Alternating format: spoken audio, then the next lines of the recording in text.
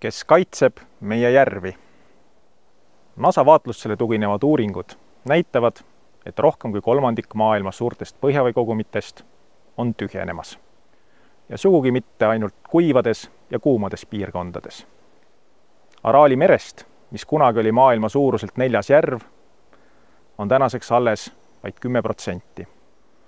seda sissetuleva vee ületarbimise tõttu inimene on oma tegevusega globaalset veeringit juba muutnud ning puhas vesi on ressurss, mis muutub üha haruldasemaks. ka Eestis on piirkondi, kus puhas vesi on muutunud haruldaseks. siia, Ida-Virumaale, on koondunud meie peamised keskkonnaprobleemid ning siit tuleb peaaegu kogu meie elektrienergia. Eesti järvede rikkama paiga kaitseks loodud Kurtna maastikukaitseala on kui viimane killuke loodust kesktööstusmaastikku. Kurtna-Kuradi järv on üks enim inimtegevuse käes kannatanud järvedest.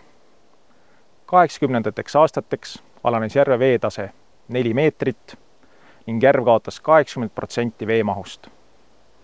see muutis täielikult järve ökosüsteemi ja seeläbi ühte olulist lüli veeringes. järvede lähedusest pumbatakse iga päev välja tuhandeid kantmeetrit põhjavett Jõhvile ja teistele suurematele asumitele. iga järve käekäigust hoolimine on tähtis, mitte ainult järvede enda säilimise pärast, vaid globaalsete protsesside tagamiseks. selleks, et meil oleks toimiv veeringe ja joogikõlbulik puhas vesi.